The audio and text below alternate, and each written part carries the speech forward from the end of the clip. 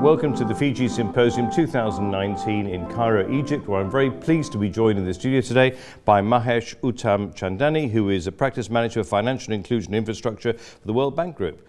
Mahesh, welcome to the studio. Thank you very much. Now, I'd like to start off by talking to you a little bit about uh, the fact that people are not necessarily preferring digital financial services over cash. And I wanted to ask you, what do you think it'll take for the world's poorest people to prefer these? Uh, and uh, will digital financial services be enough, do you think, for this to happen? I, ultimately, it's going to take a whole number of things, starting from the ground, moving up to the more macro picture.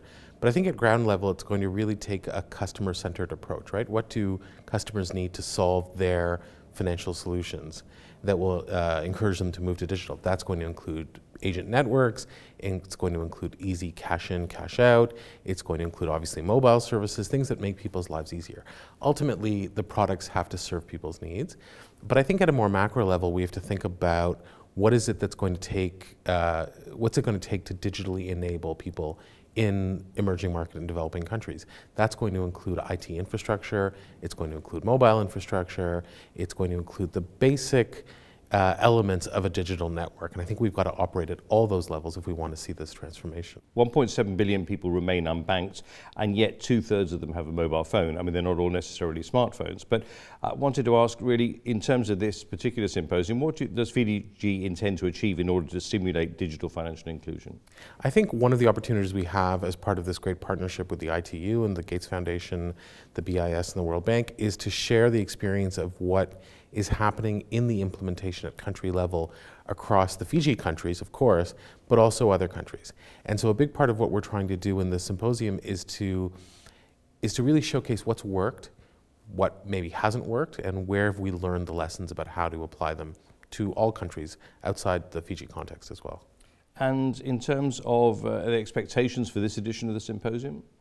Well, I'd really like to see us um, zero in on some of the more thornier challenges to financial inclusion. How do we crack the 80% number? Even in countries that have been very successful, you know, we see the usage or the access to financial services top out at around 80%.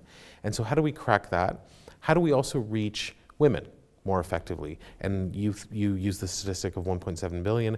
We know that although two thirds of those people have smartphones or have phones, um, fewer women have smartphones than men. So how do we tackle that challenge of reaching women uh, who form a big part of the unbanked?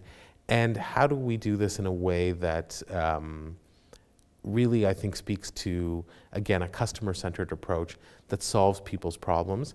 And that's what's going to take us from access to usage. How do we make sure people don't just have access to a financial services account, but they're in fact using it?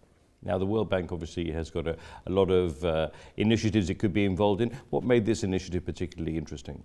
Well, I think this um, speaks very well to, first of all, a long-standing partnership we've had with the FIGI partners, um, but also you know, taking our Universal Financial Access by 2020 initiative and zeroing in on some countries that form a big you know, uh, part of this initiative and how to reach really the 2 billion unbanked that we all want to reach by 2020. And the FIGI initiative really contributes to doing that. But the focus on digital, that's a unique aspect of FIGI, I think also um, is where we see this work going more broadly. And FIGI gives us an opportunity to work in depth on this in some select countries, and again, take those lessons and apply them beyond the FIGI countries. Well, thank you very much for joining us in the studio today, and we hopefully will catch up with you again at some stage in the future too. Thank you very much. Thank you.